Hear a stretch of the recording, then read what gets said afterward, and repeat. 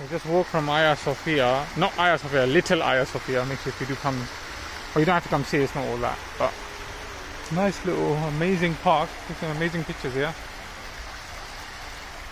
And look at this road, little, little ancient streets, sitting areas, and the sea is basically there.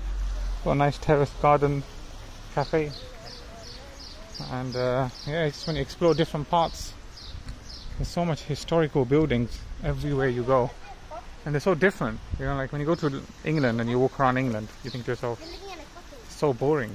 But look how nice they are.